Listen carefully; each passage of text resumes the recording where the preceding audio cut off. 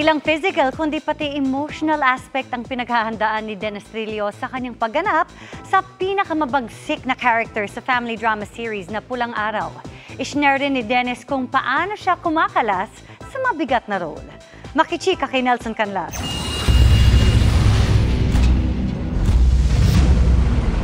Sa nalalapit na digmaan sa Pulang Araw, malapit na rin nating makilala si Colonel Yuta Saito, ang Japanese official nung panahon ng gera at gagampanan nito ni Dennis Trillo. Tumone susumo! Shore wa wareware no muro da! Tenno Eka! Banzai! Banzai! Para sa Kapuso Drama King, isa na raw ito sa pinakamahirap na role na kanyang ginampanan. Workout ang preparation ni Dennis para maging kapani-paniwala ang pagganap niya bilang isang sundalo. Ang mga eksenang labis ang kanyang pinapakitang emosyon. Konosenso de ware-ware gakanaras cuts. Dagdagan pa ng pagsasalita ng Old Japanese language.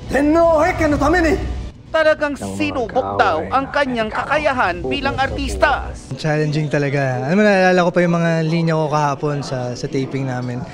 Um, ganun yung talagang proseso ko talagang paulit-ulit. So hanggang ngayon talaga naalala ko pa rin siya.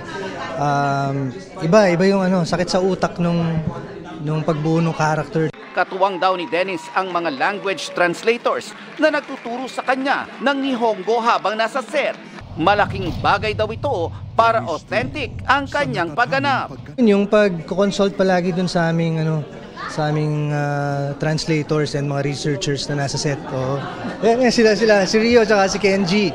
Sila talaga yung tumututok sa ano, nagbabantay na maging appropriate yung arte namin tsaka yung mga salita namin ng panahon na yun. May mga hamon man sa kanyang pagganap. Madali na raw para kay Dennis ang pagkalas sa karakter. On his way home, pagkatapos ng taping, nanonood daw siya ng mga funny TikTok videos para mapalitan ang kanyang mga emosyon. Um, nanonood ako ng mga nakakatawang videos sa biyahe pa uwi hanggang makatulog ako para, alam mo yun, puro positive energy yung madala ko sa bahay. Nangingibabaw din daw ang kanyang pasasalamat na nagagampanan niya ng maayos ang kanyang role.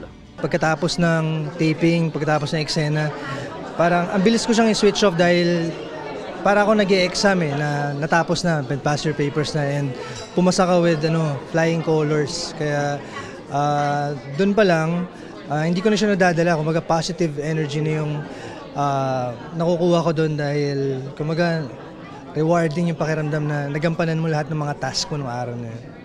Nelson Canlas, updated sa Showbiz Happening.